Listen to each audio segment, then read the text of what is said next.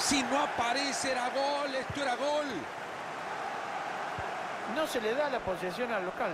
Y vaya que hicieron daño, ¿eh? teniendo menos la pelota, han tenido la capacidad de hacer daño y de momento van ganando. Cayó otro, lo va Y poquito a poco están aumentando la ventaja.